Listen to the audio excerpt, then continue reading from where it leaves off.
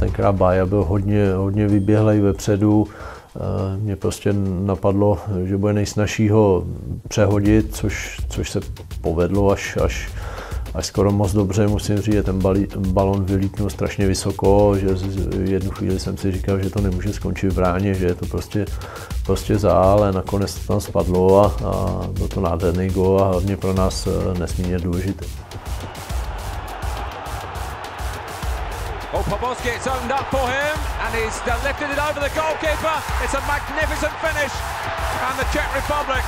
have produced a goal worthy of the quarterfinal. Dneska už spousta i mladých fotbalistů si, si nepamatuje mě jako hráče, ale, ale spousta, spousta těch mladých kluků si pamatuje tenhle ten gol nebo ho někde viděla, takže,